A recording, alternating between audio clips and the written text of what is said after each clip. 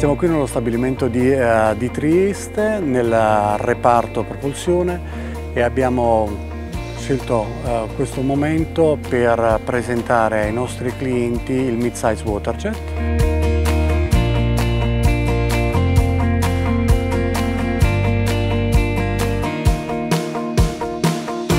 Le applicazioni per i waterjet eh, coprono tre fasce di, di mercato, quali la prima per il reparto nevi, i secondi utilizzatori sono owner come trasporti di persone dalle isole alla terraferma, gli altri sono gli armatori privati.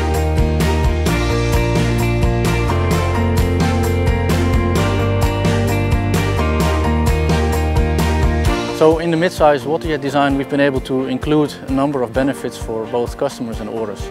Um, first one is that we have been uh, using the pump design we also use for uh, large water jets uh, which are, is now available for, uh, for the smaller uh, vessels. Second um, most important thing is the, the fact that we are, have included the inlet and now are also one step further basically including the whole uh, commissioning part already in the, uh, in the factory. Third uh, benefit is that we have all the um, electronics and hydraulics inboard requiring less maintenance and safer operation also due to the fact that there's no spilling risk to the, to the environment.